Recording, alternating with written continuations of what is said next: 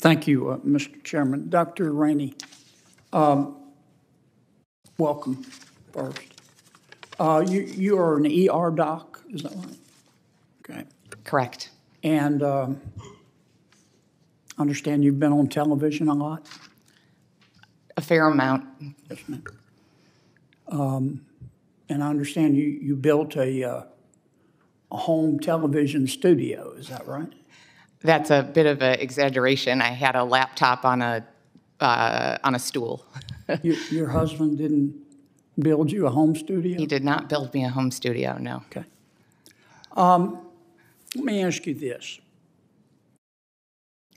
Why do you think that Chicago has become America's largest outdoor shooting range? Do you think it's because of Chicago citizens uh, who have no criminal record, but, but who have a, a lawfully a gun in their home for protection or perhaps for hunting? Or do you think it's because of a finite group of criminals who have rap sheets as long as King Kong's arm? So Mississippi, Louisiana, and Missouri actually have higher firearm death rates. Um, obviously, there's certain. What about Chicago? So I don't live in Chicago. It's not my primary area of research. You don't have an opinion on that? I think there's easy access to firearms compared with, combined with environmental conditions, uh, lack of great education. There have actually been studies showing that when you green vacant lots and repair abandoned buildings in urban neighborhoods, you see decreases in gunshots, in violence, as well as in stress and depression in the neighborhoods around them. No disrespect, Doc, but that sounds a lot like word salad to me. Let me ask you this. Um, in, in September of um, this year, our New Mexico governor issued a public health emergency order, and, and she, she suspended the right to bear arms in Albuquerque and the surrounding county. Do you support that? I, I do not. What I do support is the work that New Mexico Yeah, has but do done you with. support that? no, You don't, okay. Um, let's see.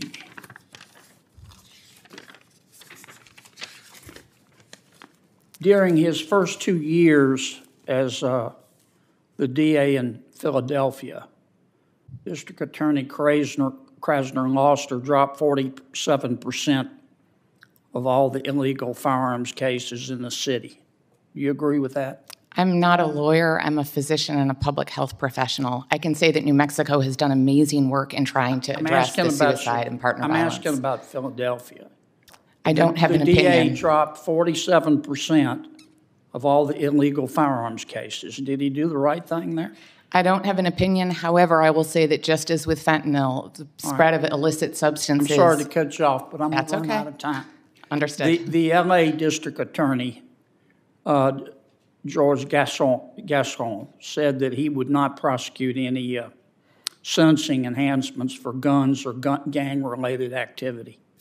Do you, do you think he did the right thing? Again, I am neither a lawyer nor a prosecutor. You don't have an opinion on that? I, I honestly don't know enough about it to have an opinion. You, you don't think gangs should be uh, prosecuted for having gu- illegal guns? I'm neither a lawyer nor a prosecutor, and I don't. That's not my area of research. But yet you want to take guns away I've never said that I want to from- take from guns away. law-abiding citizens. I, I think that you are saying something that I've not said in my written or oral testimony, sir. Okay. Um, you, you equated gun deaths to heart disease in your opening statement. Yes, sir. Which is a greater public health problem, gun deaths or heart disease? So, heart disease does kill more folks across the United States, largely in the About end of their life. Mm-hmm. Yeah. Gun deaths about fifty thousand. Correct. Do you, do you support outlawing fried foods? I, I'm sorry. How does that relate to? Because fried foods contribute to heart disease, don't they?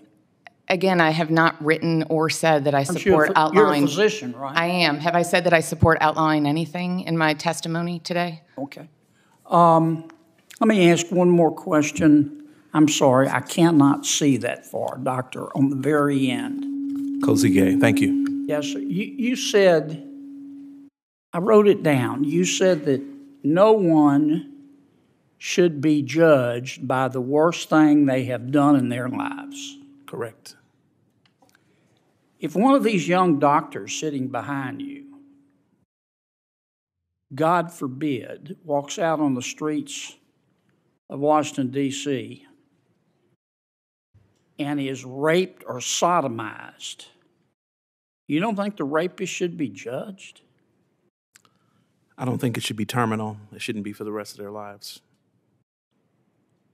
You think we should forgive them and not give them any punishment?